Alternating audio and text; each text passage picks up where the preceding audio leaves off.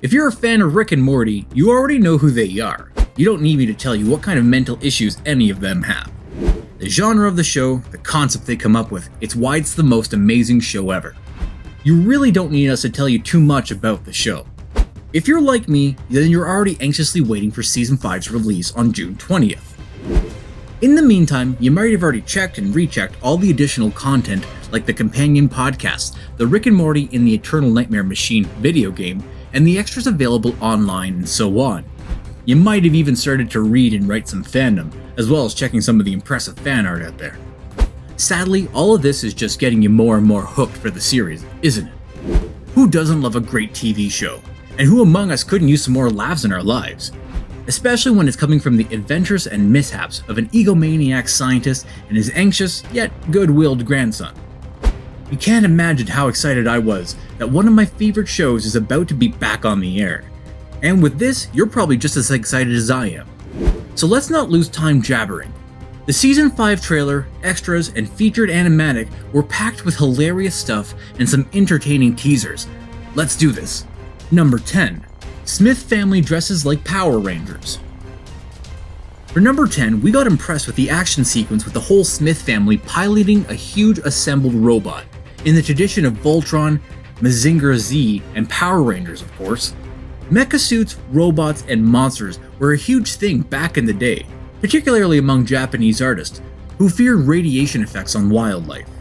Such nightmares inspired Godzilla first, and then hundreds of manga, anime, and TV shows like Ultraman.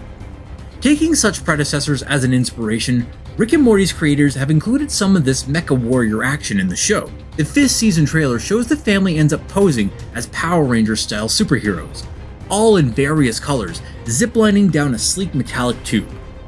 If you want to see the Smith family in their new mecha suits, all you have to do is wait. Yeah, I know, it sucks, but that's life, right? Number 9. It's quiet. Too quiet. I'm tired of hearing it's too quiet. That line is so overused. But seriously, why isn't Harry Potter still signing autographs? Can't you tell? For number 9, we found a funny fight between Rick and Summer arguing about this cliche. Overused expressions, or so called cliches, are an easy target for sarcastic and passive aggressive types like Rick. Still, it's funny to see how they argue about it, as Summer is a character with some hidden potential waiting to explode. Anyway, getting back to the tranquility and silence, we know that poison darts, silent jungles, and infinite outer space are all too quiet. Well, quiet, empty, void. They are quite the same thing, but you know what we're talking about. Good thing is, as an old movie poster said, no one will hear them screaming in space. Number 8. Smith House under attack from Rick's nemesis. Morty couldn't get the name of Rick's nemesis, and we could barely get that it's something ending in Megalodon. For spot number 8, Rick's nemesis is an androgynous character that rules the oceans. We can see it at the end of one of the featured teasers for Season 5, just after Morty manages to make a miraculous, life-saving landing on Earth. In one of the scenes, we can spot the Mr. Megalodon pulling down a dolphin-drawn, octopus-driven carriage up to Beth and Jerry's house. It's a lot more common to see Rick and Morty fighting and exploring other dimensions and planets. It is a bit unusual to have a dreaded enemy knocking on the door, and we're sure it's not to say hello. Number 7. Not in the face!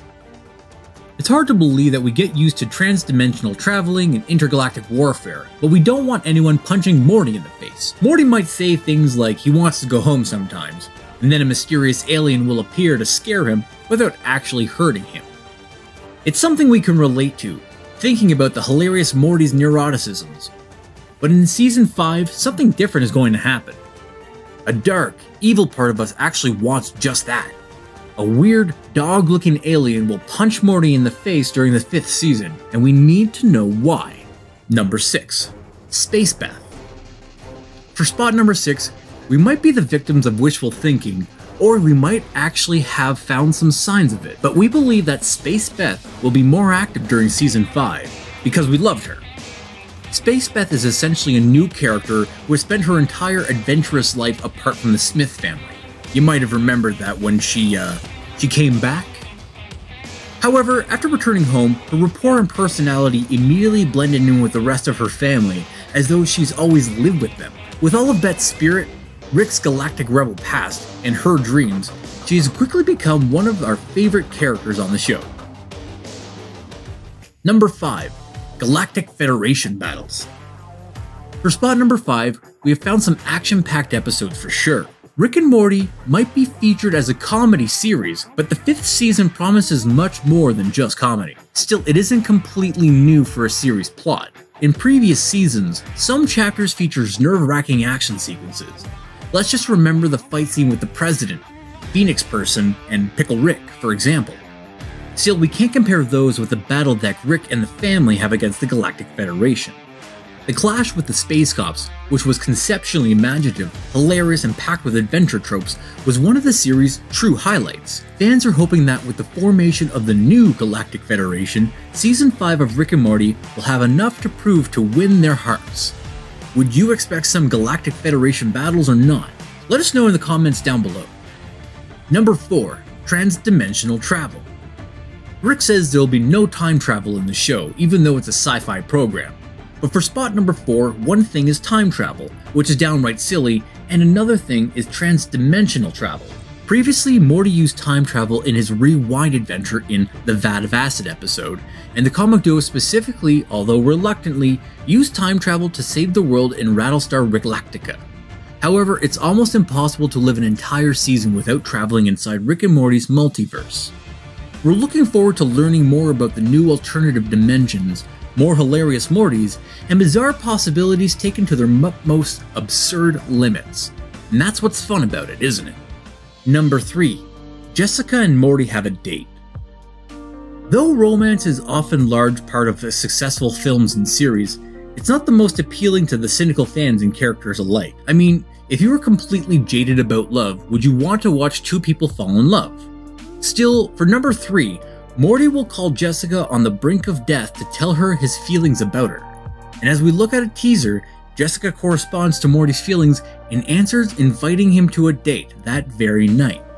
The romantic moment presented without too much romance really inspires Morty and gives him a reason to go the extra mile, saving the day. Although, not for too long. Will Morty get his date on time?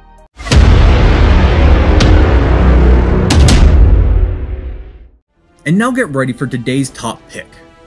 Best pick, high quality fan art. Rick and Morty's enthusiasts have proven to be the most dedicated pop culture fans on the earth.